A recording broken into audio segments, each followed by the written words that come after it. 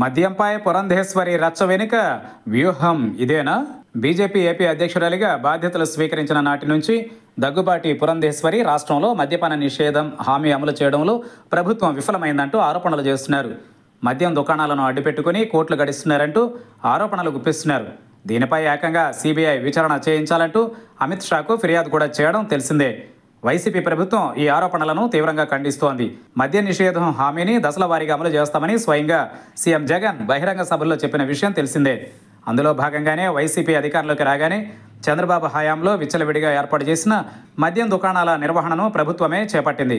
ఒక పక్క మద్యం దుకాణాలను తగ్గించడం ధరలను భారీగా పెంచడం ద్వారా మద్యం కొనుగోలు చేయాలంటే ఆ ధరలను చూసి వెనుకంజ వేసే పరిస్థితి తీసుకొచ్చారు.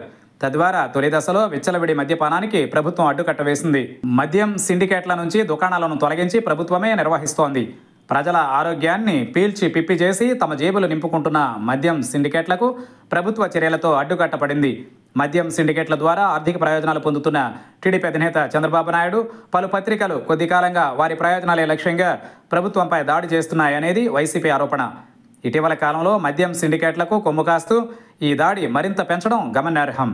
అయితే చంద్రబాబు నాయుడు స్కిల్ స్కామ్లో అడ్డంగా బుక్కాయి జైలుకెళ్ళారు.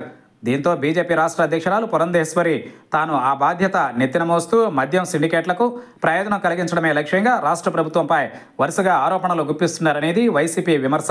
ఎన్టీఆర్ హయాంలోనూ మద్య నిషేధం హామీని అమలు చేయగా ఆయనకు వెన్నుపోటు పొడిచి అధికారంలోకి వచ్చిన చంద్రబాబు ఆ తర్వాత సంపూర్ణ మద్య నిషేధానికి తూట్లు పొడిచారు.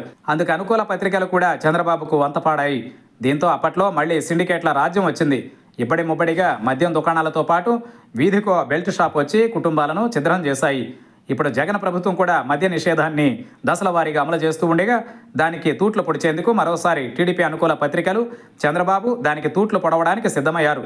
రాష్ట్రంలో మద్యపాన నియంత్రణ చర్యలు చేపట్టిన జగన్ ప్రభుత్వంపై ఆ పత్రికలు అసత్య ప్రచారం చేస్తున్నాయి. వాటి కథనాలను అనుసరిస్తూ పురంధేశ్వరి వైసీపీ ప్రభుత్వంపై ఆరోపణలు చేస్తుండడం గమనార్హం.